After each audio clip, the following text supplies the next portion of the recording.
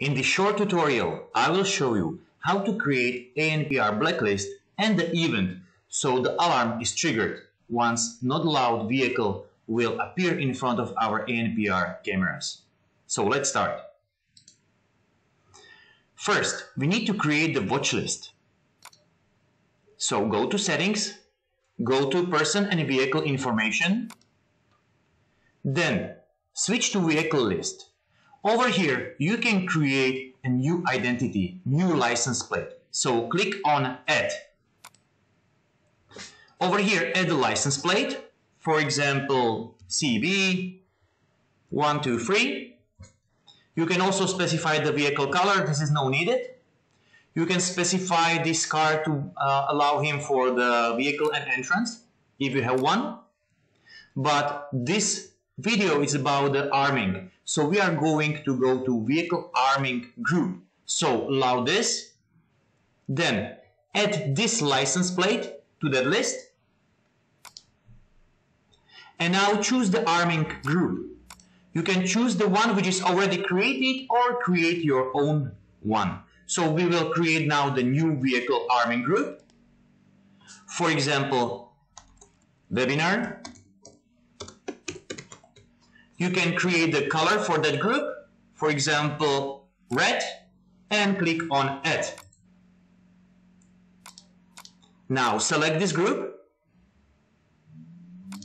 webinar group, or it can be TIFF group, whatever, and click on OK. So now the car is already in the arming group, in the blacklist or whitelist or watchlist, however you want to call it. So this is in webinar group. Now, we need to create action for that. So go back to home, go to event, add a new event, click on video channel, scroll all the way down, and here you got vehicle arming. So you can choose the group, for example, high risk vehicles, or TIFF vehicles or the one which I just created, the webinar group. Now select for which camera it should apply. So in case the car with such a license plate is in front of one or two cameras or multiple cameras, so you can also select the groups or whole route. What should be done?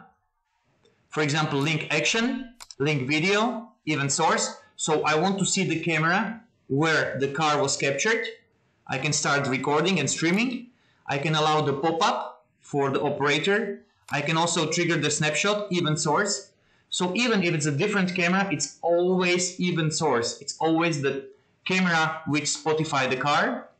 I can also trigger some lights, trigger some uh, other event, whatever I want.